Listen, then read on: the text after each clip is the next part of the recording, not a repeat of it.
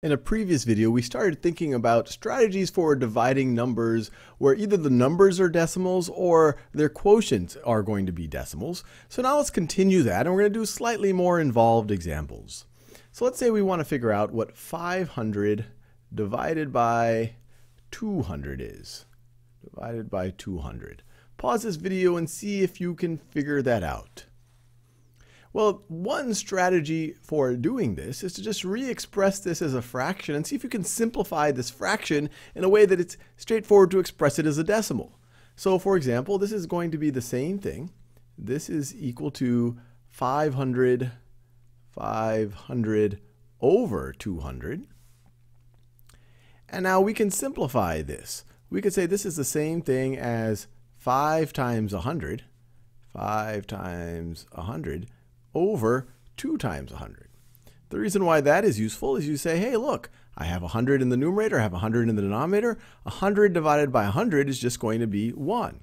So you could just view this. This is equal to 5 halves, 5 halves, times, times 100 over 100, times 100 over 100, which is just going to be equal to, which is just going to be equal to 1. Another way to think about it, you could divide the numerator by 100, and you would have 5. And as long as you divide the denominator by the same thing, you're not changing the value of the fraction.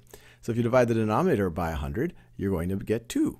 So any way you think about it, this could be simplified as 5 halves. But we're not done yet. That is, that is what 500 divided by 200 is, but can we express this as a decimal?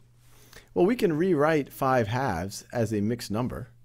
So 5 halves is going to be equal to, well, how many times does 2 go into 5? Well, it goes 2 times, and then you have 1 half left over. So this is going to be 2 and 1, 2 and 1 half. And now how do we express this right over here as a decimal? Well, you might recognize that 1 half is the same thing as 5 tenths. So this is going to be equal to 2 and 5 over 10, which of course we can write as 2.5 or 2 and 5 tenths. So 500 divided by 200 is 2.5. Let's do another example. Let's say we wanted to figure out what 0.63 divided by divided by 0.07 is. Pause this video and see if you can come up with a strategy for doing this. Well, there's multiple ways to tackle it. One way to is to think about both of them in terms of hundredths. So for example, this is 63 hundredths, hundredths. And this right over here is 7 hundredths, hundredths. And so if you have 63 of something and you're dividing that by 7 hundredths, what are you going to get? Well, you're going to, this, if you took your 7 hundredths and you multiply it by 9, you're going to get 63 hundredths.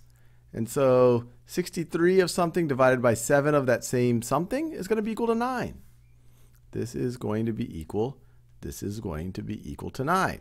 7 times 9 is 63, so 7 hundredths times 9 is going to be 63 hundredths. Another way to think about it is we can express this as a fraction. So in the numerator you have 0.63, and the denominator you have 0.07.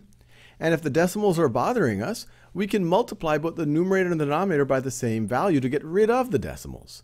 So let's multiply the numerator by 100 and also multiply the denominator by 100. This doesn't change the value of the expression because multiplying by 100 over 100 is just the same thing as multiplying by 1. So this would be equal to 63 hundredths times 100. Well, we would move the decimal 2 to the right. This is going to be equal to 63 over 7 hundredths times 100.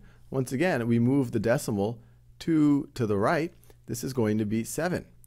So 63 divided by 7, once again, that is going to be equal to that is going to be equal to 9.